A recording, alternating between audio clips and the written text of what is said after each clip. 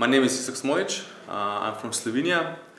Uh, I'm one of the co-founders of a Drupal company called Agile Drop and we came here uh, to London for Drupal Camp London. We sponsor um, many Drupal camps and events. Uh, we feel like this is a very good way to give back to the community.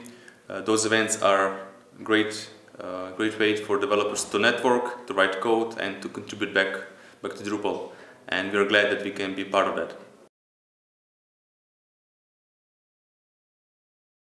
For us, being a sponsor means that we get some visibility in the community. It means that we can uh, network with, uh, with other attendees. So uh, we also see it as a marketing investment from our end.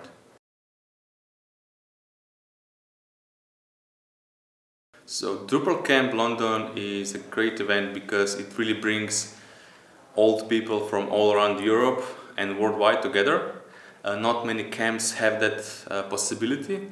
I think it's just the location uh, and the Lon London itself is appealing. Uh, so that's why uh, I think it's, for us, it actually is uh, the second best event in a year after DrupalCon.